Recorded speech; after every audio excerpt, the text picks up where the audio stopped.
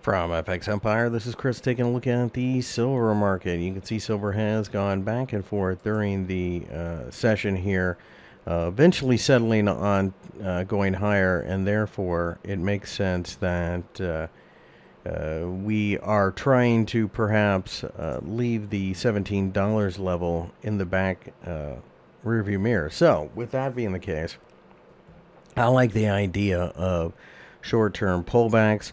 And uh, with that being the case, it's likely to um, try the $17.50 level again. And uh, that level being broken, of course, opens the door to 18 I like buying dips.